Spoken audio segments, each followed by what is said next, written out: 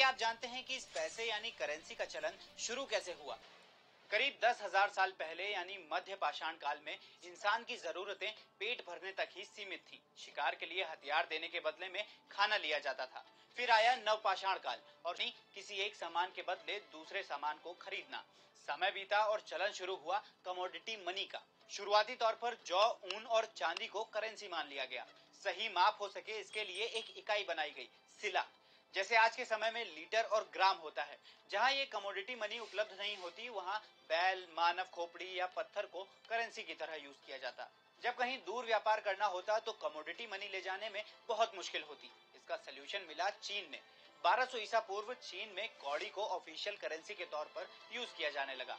ये करेंसी इतनी पॉपुलर हुई कि अफ्रीका और दक्षिण एशिया में करीब चार हज़ार साल तक इसका इस्तेमाल होता रहा।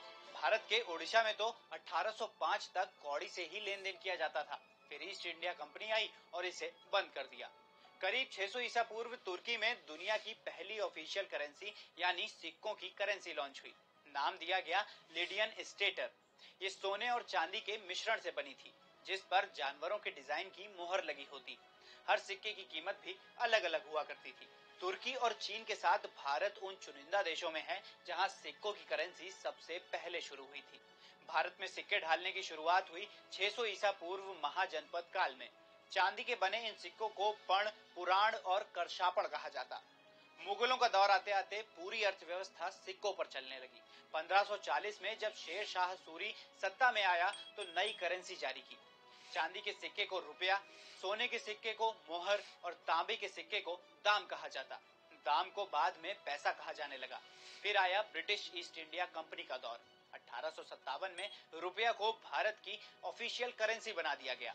लंबे सफ़र पर ज़्यादा करेंसी लेकर चलना काफ़ी मुश्किल था, जिस वजह से 700 ईसा पूर्व पेपर करेंसी शुरू हुई। भारत में पेपर करेंसी की शुरुआत अठारह सौ बासठ में ब्रिटिश ईस्ट इंडिया कंपनी के प्रेसिडेंसी बैंक ने की। क्वीन विक्टोरिया की फ़ोटो वाले नोट जारी हुए। इन नोटों का लेखा जोखा और प्रिंटिंग मैनेज करने के लिए 1935 में रिज़र्व बैंक की स्थापना हुई। 1947 में देश आज़ाद हुआ और उन्नीस सौ उनहत्तर में पहली बार भारतीय करेंसी पर महात्मा गांधी की फ़ोटो छपी। तब से आज तक भारतीय करेंसी का पूरा जिम्मा रिज़र्व बैंक के हाथों में ही है। ये तो हो गई सिक्कों और पेपर करेंसी की कहानी। मौजूदा सरकार ने 2014 में प्लास्टिक करेंसी लॉन्च करने की भी बात कही थी। इसके पीछे वजह थी प्लास्टिक करेंसी का ज़्यादा लाइफ स्पैन।